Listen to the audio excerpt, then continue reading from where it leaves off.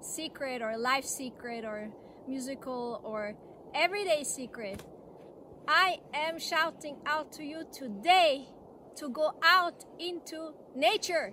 Look at this. This is inspiration.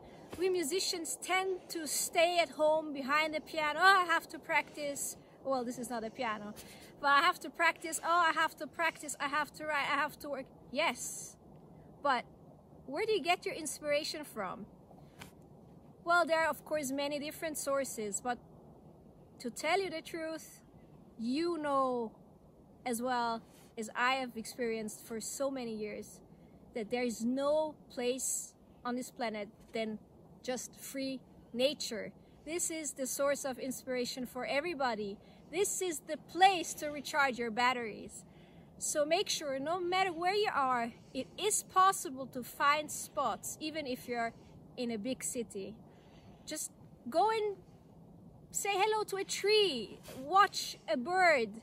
I don't know, look at the sun. Just do nothing because then I tell you, you will enhance your quality in work. Actually, no matter what you do.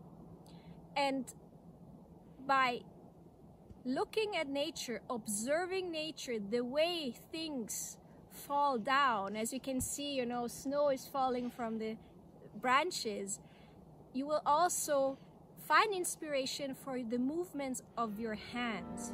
Trust me on that. And think of it. And stay safe.